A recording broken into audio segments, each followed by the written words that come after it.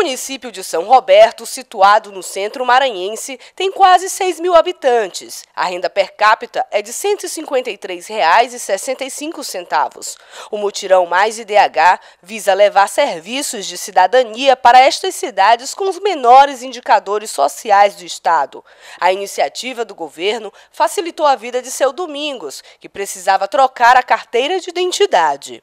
A gente está no local da gente, a gente está fazendo as coisas como é para ser, o governo está ajudando a pobreza que não pode sair para fora para fazer o documento, e aí então vindo para cá é uma grande força que ele está dando para nós. Outro documento muito procurado é a carteira de trabalho, que proporciona o acesso ao emprego com carteira assinada, dando a esperança de dias melhores para a população. Então a gente observa a necessidade de poder contemplá-los. Por quê? Por causa da distância, né? principalmente se vier alguma empresa para cá, uma, uma situação do qual também eles se retirem do município, eles possam ter continuidade, da, da, é, ter esse acesso né, ao emprego através da carteira do trabalho. Nesse primeiro momento nós estamos com 10 mil carteiras, né?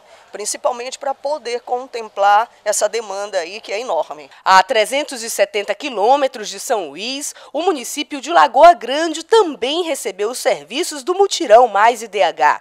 Centenas de pessoas aproveitaram para fazer testes de glicemia, HIV e atendimentos médicos. Houve até distribuição de remédios. Aí, muito, quando vem assim, a gente tem que aproveitar enquanto está tendo, né? Porque né, não é todo dia que tem essas coisas. A dona de casa, de 28 anos, diz que é a primeira vez que a cidade recebe esse tipo de serviço. Que aqui nós nunca tínhamos visto isso, agora que é a primeira vez que nós estamos vendo.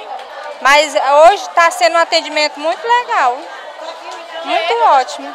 Está satisfeito? Estou. Teve palestra educativa sobre saúde bucal e distribuição de escovas de dente está ajudando as pessoas a cuidarem mais da saúde bucal, porque muita gente não sabe como fazer a higienização, a higienização da boca. O programa Mais IDH tem como foco chegar a regiões de difícil acesso e vulnerabilidade social. Bom, em primeiro lugar, é a primeira vez que realmente o Estado está aqui em Lagoa Grande, né? E o programa Mais IDH é, é um sonho, né? Que está começando a se realizar, se tornar uma realidade a partir de agora. Então são essas ações efetivas nesses 30 municípios do Maranhão, e Lagoa Grande está aqui inserido também nesse contexto, que é um sonho também do governador de tirar o Maranhão dessa lista negra que se encontra, de ser um estado mais pobre do Brasil.